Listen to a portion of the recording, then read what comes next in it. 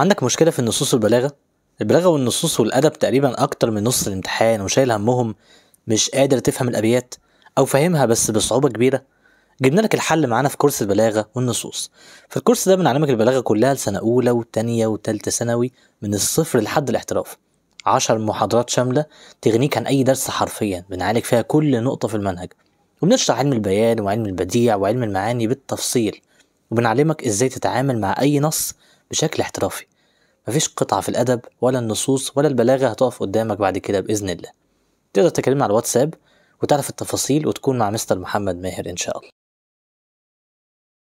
بسم الله والحمد لله والصلاة والسلام على رسول الله. الحمد لله الذي علم بالقلم علم الإنسان ما لم يعلم. والصلاة والسلام على خير معلم الناس الخير سيدنا محمد صلى الله عليه وسلم. النهاردة يا شباب النهاردة بنات هنحل مع بعض الفصل الثالث من فصول إيه يا جماعة؟ من فصول القصة على الجزء الأول من كتاب الامتحان. دفعتنا الأمورة الجميلة عشرين أربعة وعشرين. أول حاجة القوانين المازني وأحسست من صغري أن شأني غير شأن الناس. حسيت من وأنا صغير إن أنا غير الناس وأني فقير وإن كنت مستور الحال. مع إننا مستورين لكن أنا حسيت إني فقير. ولكن الستر أو الستر لا ينفي الشعور بالفقر وغضاضته ومضضه. يعني يعني الستر برضو مش بيشيل الإحساس الصعب بتاع الفقر. بقول فأرهف ذلك إحساسي. ده خلى إحساسي مرهف شوية. حتى صار ينحى بمثل حد المبراة على قلبي فيحزه ويقطعه. إيه معنى ده؟ يعني بقول الإحساس ده يا جماعة كان صعب أوي على قلبي لدرجة إن هو كان عامل زي البراية عامل زي سن السكينة كده وهو بيقطع في قلبي. طبعا لو ركزنا ده تعبير قوي جدا. يعني هنا في لون بياني يا جماعة بيدل على شدة الألم اللي كان بيتعرض لها نفسيا بسبب الفقر. بقول فنزعت شيئا فشيئا إلى الانقباض عن الناس. يعني مع الوقت بدأت أنعزل عن الناس واتقاء الخوض معهم فيما يخوضون مما يستدعي نفقة وتكون فيه كلفة. يعني أي حاجة فيها فلوس أو أي حاجة الناس بتعملها بدأت أبعد عنها بدأت أبعد يعني يعني مبقاش اجتماعي يا جماعة بقى شخص منطوي أو منعزل. إنما طه حسين بيقول لنا على أنه لم يلبس أن تبين سبب هذا كله. هو عرف سبب المعاملة الغريبة دي كلها. فقد أحس أن لغيره من الناس عليه فضلا. عرف إن غيره من الناس بيتفضل عليه بحاجات يعني هو أعمى فطبعا إخواته بيعملوا حاجات هو ما يقدرش يعملها.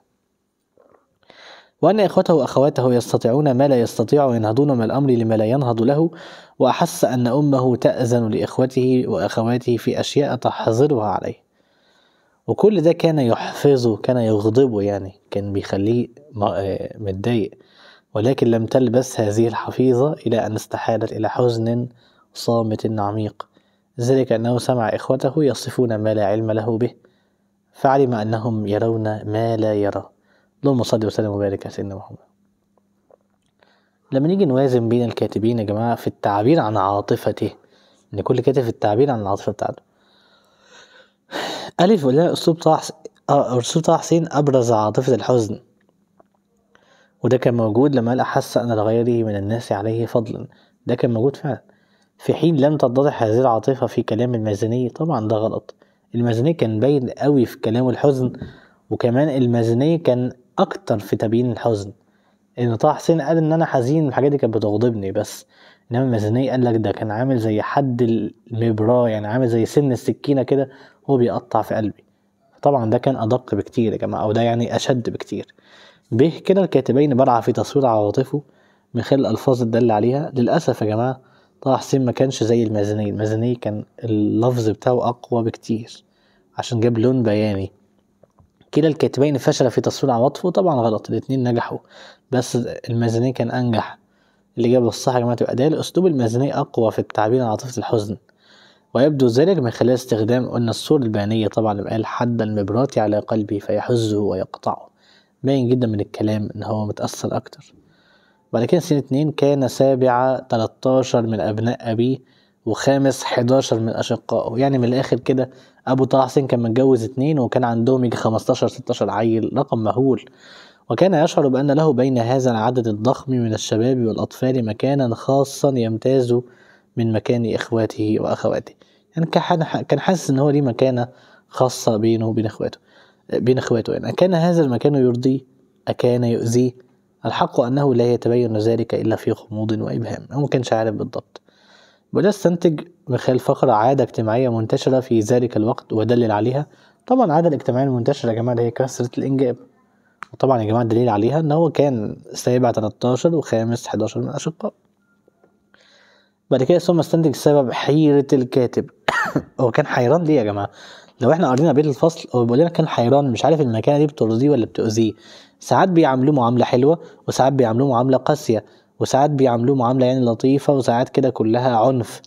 ساعات اخواته يبقوا قريبين منه وساعات بيحتاطوا معاه أو بياخدوا بالهم قوي يعني بيحذروا معاه. فطبعا الحيرة ليه يا جماعة؟ عشان هو ما كانش عارف أكان هذا المكان يرضيه أكان يؤذيه.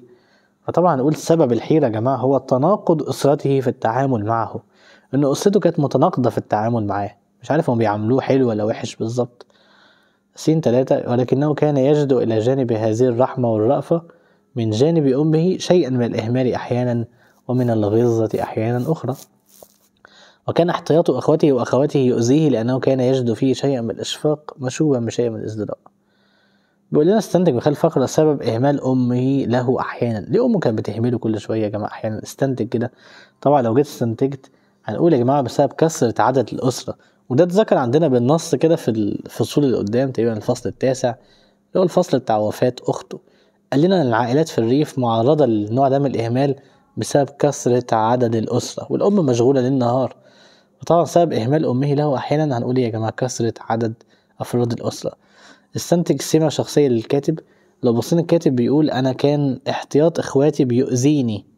يعني كان المشاعر بتاعته فياضة يا جماعة زي ما أنت شايف لدرجة إن إخواته بس لما معاملتهم تتغير بس معاه كان ده بيؤذيه وكان بيحز في نفسيته شوية.